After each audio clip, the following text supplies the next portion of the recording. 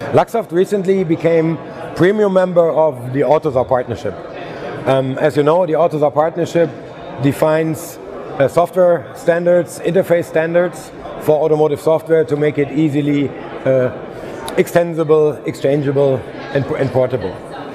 In the future, uh, these standards uh, will change dramatically because the whole market is changing. Um, there's a new uh, direction in AUTOSAR that's called AUTOSAR Adaptive that's trying to incorporate also new software development paradigms. AUTOSAR Adaptive is based on POSIX 51 and heavily on C++. And this is a big change because previous AUTOSAR, which is now called AUTOSAR Classic, was based on OSEK and very, very deeply embedded C. AUTOSAR Adaptive addresses the need uh, for new software platforms for high performance computing.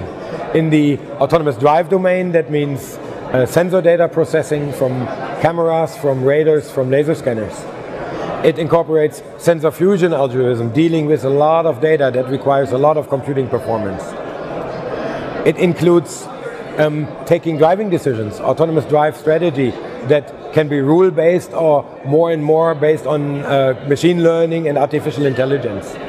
For that, um, big computing uh, power is needed and AUTOSAR Adaptive will be an enabler for that. In order to support quicker and cheaper start of such new projects, uh, Luxoft is building reference uh, uh, implementations of such platforms. So we have already a reference implementation for hardware board where we can easily uh, incorporate new CPU models. We can easily connect new peripherals. We don't do this as production units, but to start projects quickly. And in the same way, we are now also building an AUTOSAR adaptive uh, reference software platforms for the same purpose.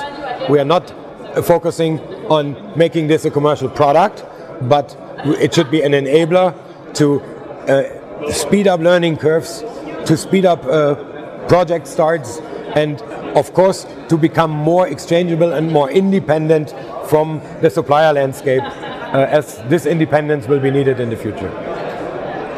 Uh, we are premium members of AUTOSAR Consortium, and today we are going to show you uh, a demonstrator for AUTOSAR Adaptive. On the Minerv board, we have an LXC container running the adaptive AUTOSAR implementation.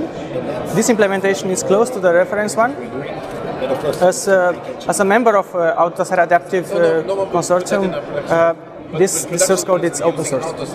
On, on Adaptive AUTOSAR, we have three services uh, which are handling the speed, the RPM, and the gear. And uh, uh, what you see here, it's, it's Neptune UI, which is running on the GENIVI stack. And uh, uh, what, what is displayed here is coming from the AUTOSAR adaptive container uh, through SOME/IP. As adaptive AUTOSAR, it's not uh, providing by default a, a, tracing solution. We are giving the user the possibility to instrument their source code in order to trace events in the target.